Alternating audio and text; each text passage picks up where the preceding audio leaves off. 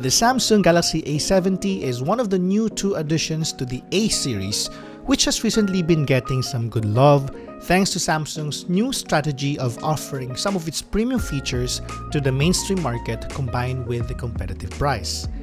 As for the phone's design, the A70 uses the same design language of the A50, a notch display, plus a back panel that responds beautifully to light. Unfortunately, the glossy finish also makes it a smudge magnet, but that's not a big deal as you'll most likely get a case for it anyway. Speaking of the back panel, you get the usual Samsung branding along with a triple camera module.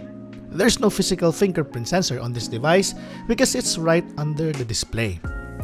Both of the volume rocker and power button are placed on the right side of the phone while the SIM card slot is on the left. Samsung was also generous enough to equip the A70 with a USB-C port, something that its closest competitors don't have. And for those who will ask, it doesn't have any certification for water and dust resistance, so no, don't take this for a swim.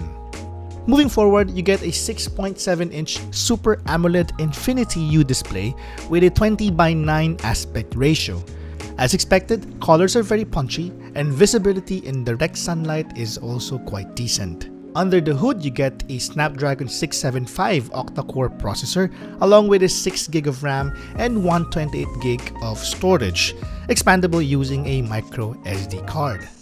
In our quick gaming review, the phone was able to handle PUBG Mobile at HDR Plus ultra frame rate setting with anti-aliasing turned on with no major issues. We didn't have our heat measuring tool at the time but the phone only got a bit warm at most during the test.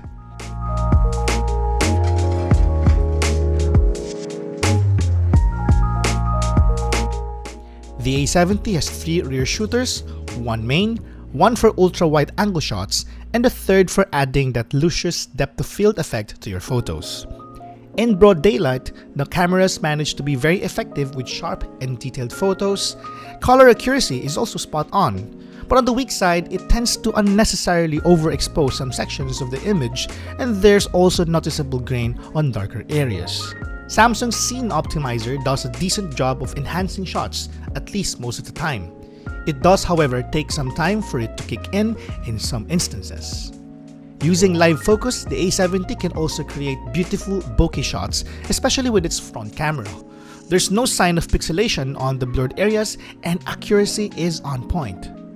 At night, the A70's cameras are a bit of hit and miss. At times, it tends to fail at controlling multiple light sources, and then there are instances when it's skillfully able to tame them down.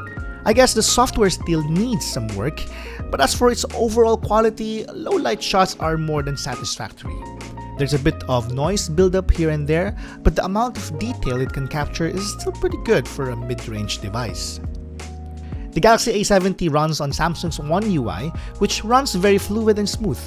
I do like the new theme, but if I had to nitpick on some things, then there could be things that could really be well improved. The camera app for instance has Pro mode, but the controls are very limited. The way you toggle mirror selfies is an option that's found two menus deep, when in some devices, this option is immediately found on the camera settings. I could go on I guess, but I'll save that for the full review when we finally have our unit. But the point is, Samsung's One UI looks great and it's fast, but ease of use could use some work, at least for now.